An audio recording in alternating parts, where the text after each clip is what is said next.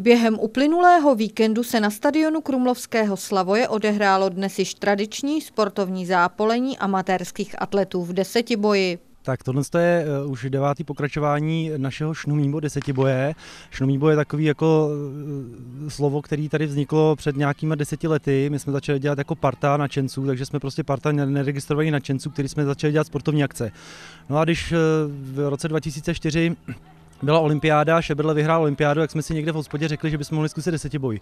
Spojili jsme se tady se stadionem, napasovala se na to super parta lidí, kteří tady dneska jsou, prostě po devátý, někteří jsou tady nově a děláme tady prostě eh, tyhle závody jako oficiální prostě desetiboj. Snažíme se to pořád vylepšovat a udělat to pro amatéry, aby jsme si prostě mohli vyzkoušet tenhle ten sport jako krásný.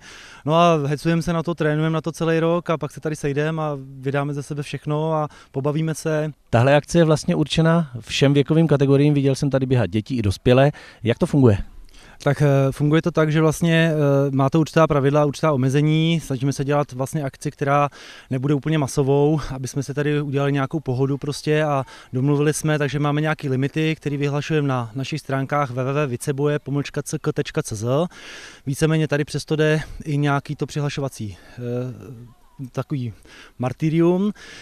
Někdy zhruba v půlce května nebo v květnu, než ten závod začíná, Pošleme maily hlavně těm, kteří už závodili.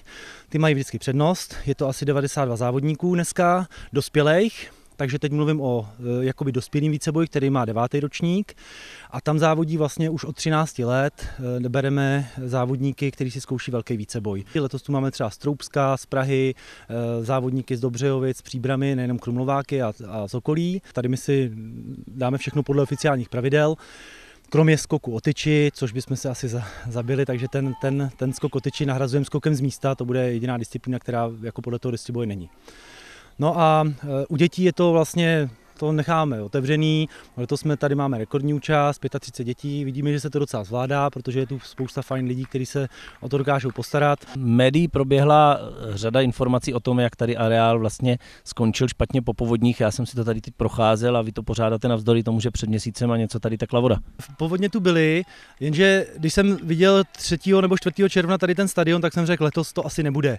Zavolal jsem řediteli z Prosportu Martinu Tomkovi, on říkal, nebuď skeptik, to dáme tak jsme se tu pak čtyři part, parta lidí, co tady jsme byli, tak jsme se tady sešli čtyři dny, plus lidi z Prosportu. Najednou dráha byla čistá, a najednou jsme prostě měli závod. Všechno, všechno jde vždycky zařídit, když je nějaký nadšení. Určitě jsou tady super lidi, my si dáváme vždycky startovný, z toho se zaplatí nějaký takový to, co se potřebuje udělat na ten závod. Eh, když si to vymyslíme dobře a chceme si z toho udělat mistrovství světa, protože jsme takovýhle fandové, nadšenci, tak prostě z toho dáme dohromady, přiřadí se k tomu nějaký peníze s firem, v party, lidí, kteří závodí, někoho oslovíme, řadě, řadě partnerů se to líbí, co děláme, to je dobře, podpoří nás, ale děláme to hlavně pro radost a když se něco sejde, sejde, když se nesejde, tak sejde. Udělat se to dá s malým rozpočtem.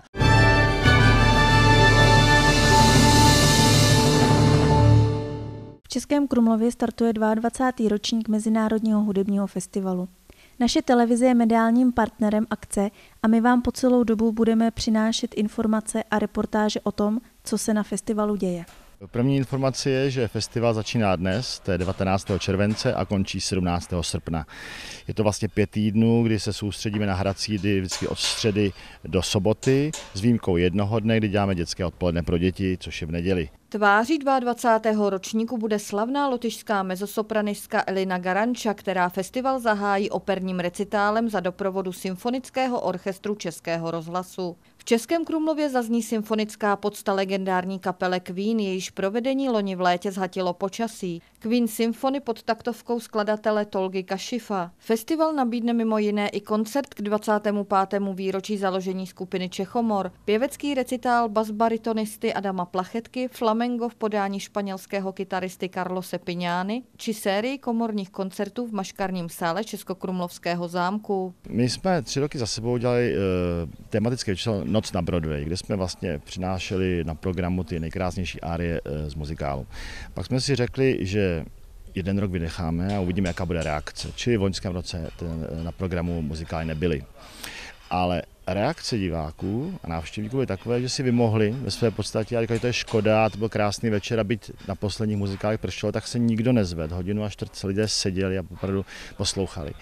Tak jsme si řekli, ano, je to prostě žánr, který na festival patří. Tradiční názory typu festival je pouze o vážné hudbě, je strašně drahý, je pro Pražáky. Já to zmiňuji umyslně, protože vím, že eh, tomu tak zaprvé není a eh, vy jste udělali celou řadu eh, věcí, které zcela jednoznačně dokazují, že že je to vlastně úplně naopak. Tak určitě z mnoha důvodů. Za prvé jsme si nechali dělat analýzu, jak ekonomickou, tak návštěvnickou strukturu. Z toho vyšlo, že z těch 18 000 návštěvníků v tom daném ročníku 15% bylo občanů Českého Krumlova.